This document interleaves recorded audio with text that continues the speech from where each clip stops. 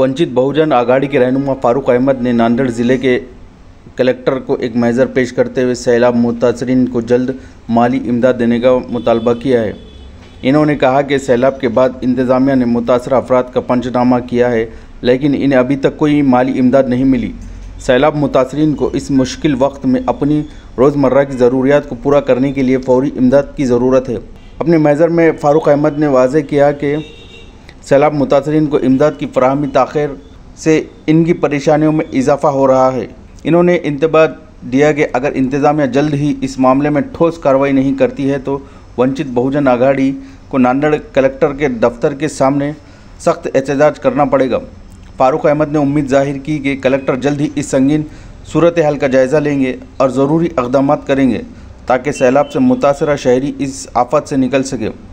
इस मौके पर शहर सदर अयूब खान विठल गायकवाड़, जावेद हाशमी, आदित्य देशमुख, एडवोकेट शेख बिलाल, ज़फ़र जलाल, अफजल मोमिन, सादिक बाचोटीकर अतिक लीडर, सरफराज खान, अमजद खान, शेख सलीम साहिबरा भंडारे, अब्दुल समी व दीगर अफराद मौजूद थे। नांदेड़ ज़िले में एक के बाद एक आफतें आपदाएँ आ रही हैं। नांदेड़ में अतिवृष्टि के कारण बाढ़ सदृश परिस्थिति निर्माण होकर तकरीबन एक महीना होने को आ गया।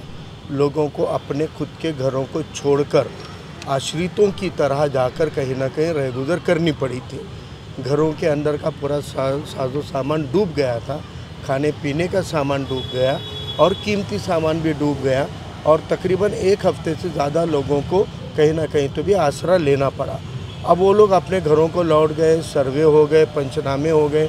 लेकिन अब तक भी सरकार की तरफ़ से कोई मदद आई नहीं है।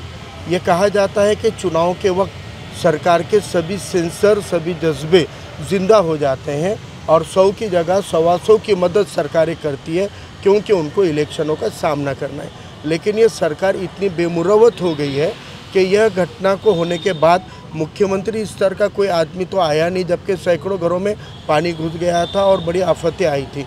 तो कोई आया नहीं, लेकिन कम से कम सर्वे कराकर तत्काल मदद देने का काम भी सरकार नहीं कर रही है।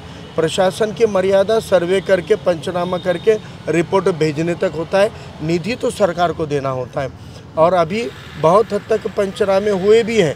उसकी रिपोर्ट भी पहुँच गई है, लेकिन सरकारों ने अब तक कोई निधि नहीं दिया है।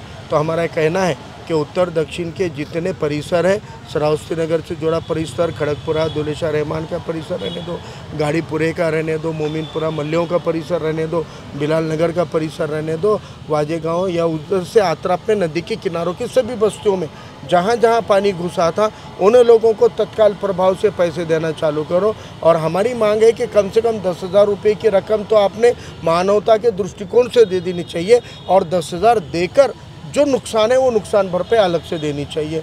इसी मांग को लेकर हमने आज माननीय जिलाधिकारी साहब से मुलाकात की और हमने यह भी कहा है कि सभी के सर्वे हुए हैं, ऐसा नहीं है। कई एरिया के अंदर वहाँ के सर्वों में उनके नाम नहीं लिए गए। ठीक से सर्वे नहीं किए गए। तो पंचनामा को लेकर जिन लोगों की शिकायत है हमने कहा, अपने वंचित बहुजन आघाड़ी के सभी पदाधिकारी कार्यकर्ताओं को, जिन जिन के सर्वे नहीं हुए, उनके नाम, उनका घर का नंबर, उनके तस्वीरें और उनका कितना नुकसान हुआ, उसका अंदाज़ा लेकर हम सर्वे करके कलेक्टर साहब को रिपोर्ट देंगे कि ये लोगों को इसमें शामिल नहीं किया गया। इनका भी नुकसान हुआ, ये तस्वीर का सबूत के साथ उनको सबमिट करने का काम भी इंशाल्लाह वंचित की टीम करने जा रही है। इसके अलावा निर्ली में जो विपता हुई है, उसको लेकर भी हमने कलेक्टर साहब से बात की, जो प्राइवेट दवाखानों में पेशेंट ट्रीटमेंट ले रहे हैं उनके भी दवा गोली के खर्चे का और उनके भी पूरे हॉस्पिटल चार्ज है। कोई भी प्राइवेट हॉस्पिटल इमरजेंसी में करेगा 24 घंटे करेगा 36 घंटे करेगा। परमानेंट आईसीयू जैसी ट्रीटमेंट वो नहीं कर सकते हैं। तो उन हॉस्पिटल को कोई मुआवजा मिलना चाहिए। उसको लेकर भी माननीय जिलाधिकारी साहब से बात हुई है और उन्होंने आश्वासित किया है कि जो जो दवाखानों ने प्राइवेट में उनको ट्रीटमेंट दी है, उन लोगों के लिए भी सरकार उनका प्रस्ताव मंगाएगी और गंभीरता से लेगी।